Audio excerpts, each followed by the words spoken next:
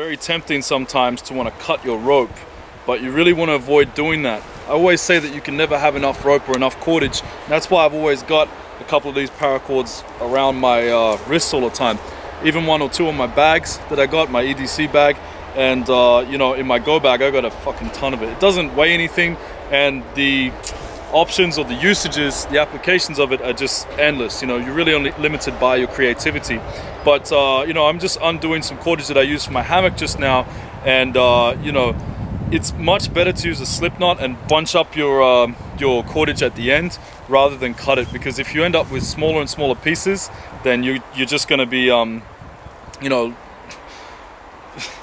minimal, minim, minimalizing your uh, potential. Okay, when you actually want to go out and use it um, in reality. So it doesn't matter if it's a bit long and a little bit bunched up. You can always just tie it off.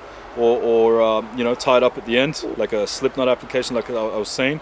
And uh, yeah, it can be a little bit of a pain in the ass on doing it at the end, but it'll only take you a couple more minutes. And if and when you need a longer piece of rope, then you'll have it. So make sure, make sure you uh, don't cut your rope unless you absolutely need to.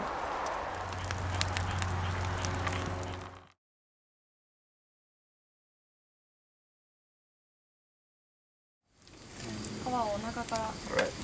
So in survival, So in Thailand, you can snake like a boss.